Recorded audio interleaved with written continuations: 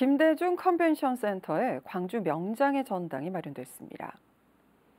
광주시는 김대중 컨벤션 센터 1층 중앙홀 벽에 명장의 전당을 설치했으며 앞으로 기계와 패션 등 다양한 분야의 명장 72명을 담을 예정입니다.